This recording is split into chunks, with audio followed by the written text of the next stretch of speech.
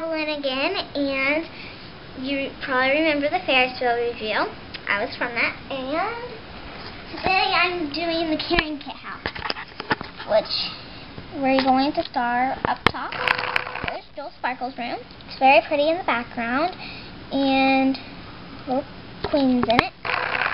Here's Jelly Jars and Jam, Pillow Feathers bed. Little feather bedroom. Very nice, and a little picture of her. Now, let's go down to Tom Sugar Cookies room.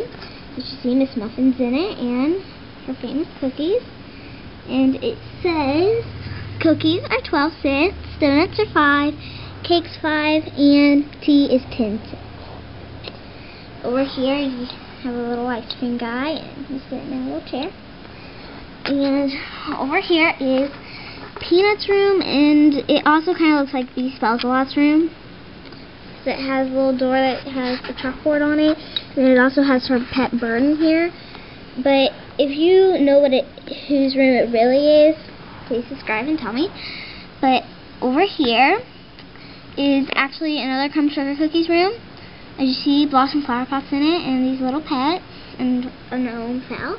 And then over here on the side, it's Peter can fly and Pixie Flutters. They have a little lion. She has a little lion, and he has this cute little rhino.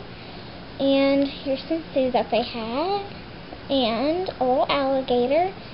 And he also came with his flute, which